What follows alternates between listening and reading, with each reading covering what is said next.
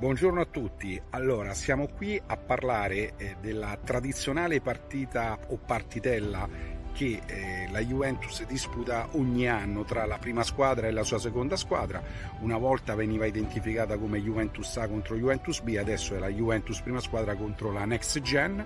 che eh, da qualche anno partecipa con risultati eh, pessimi al campionato di Serie C. Eh, diciamo che la prima, la prima cosa che salta all'occhio di questa partita è che dopo ben oltre 70 anni si è interrotta una tradizione che vedeva disputare questa partita a Vilar Perosa, feudo storico degli Agnelli. E già eh, non aver proseguito eh, nella continuità della tradizione deve far riflettere su quella che è l'attuale proprietà io ho una mia opinione personale che cercherò comunque qui di spiegare, ma che non parte da pregiudizi nei confronti di qualcuno, nello specifico dell'attuale proprietario della Juventus, John Elkan, detto JJ. Secondo me questo è stato proprio un chiaro segnale a coloro che pensano ancora che la Juventus sia di proprietà della famiglia Agnelli, quando ormai il segnale è chiaro, la Juventus non è più della famiglia Agnelli. Da novembre, quando si è dimesso Andrea Agnelli, lì è finita l'epopea e la dinastia degli Agnelli alla guida della Juventus e come tale anche a livello in cui la Juventus era mantenuta dalla famiglia Agnelli che ha sempre ritenuto al pari della Ferrari la Juventus un qualcosa che non andasse trattato come una tradizionale azienda ma come uno, uh, un, un gioiello, un diamante che poi se non portava dei grossi risultati a livello imprenditoriale economici, portava dei grandi risultati a livello di passione, di amore da parte di coloro, che sono tanti i tifosi della Juventus, 15 milioni in Italia, 150 nel mondo, che seguono questa squadra. E il fatto che comunque la squadra fosse di proprietà degli Agnelli dava loro una visibilità importante alla nuova proprietà non interessa nulla perché eh, come, come, dicono quelli che probabilmente godono di questa situazione della Juventus eh, loro hanno una visione una visione completamente diversa come ho già spiegato diverse volte ritengono il calcio un settore non ritengono il calcio un settore strategico di investimento e come tale trattano la Juventus come una qualsiasi azienda. Questo l'ho già detto e ripetuto tante volte, ma va ribadito semplicemente perché il calcio è un mondo diverso, il calcio è un mondo dove eh, non si entra e non si prende una squadra calcistica per ottenere del lucro, ma più che altro per ottenere una visibilità soprattutto del gruppo, della famiglia, di coloro che eh, chiaramente sono proprietari eh, di una squadra calcistica, perché il calcio è una delle poche aziende in cui eh, il pareggio di bilancio eh, o comunque i conti in ordine non portano trofei.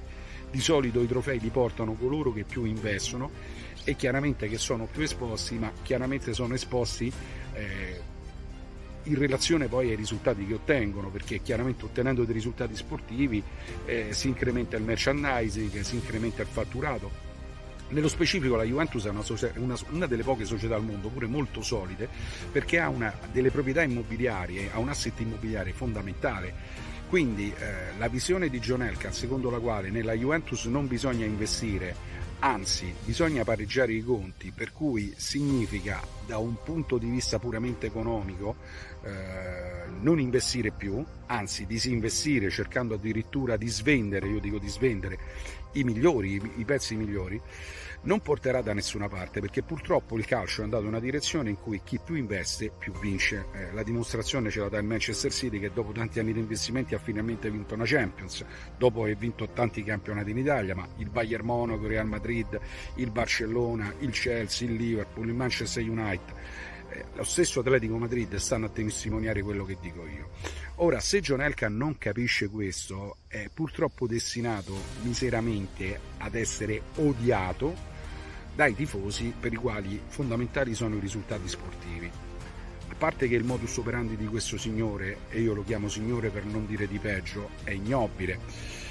perché eh, il modo in cui ha estromesso completamente la famiglia Agnelli e comunque i pretoriani della famiglia Agnelli a partire da Calciopoli del 2006 è sempre lo stesso. Indagini giudiziarie che poi vengono trasmesse alla giustizia sportiva, che poi distrugge la Juventus, sempre con la complicità e il favore di John Elkan, il quale, pur di ottenere i propri fini,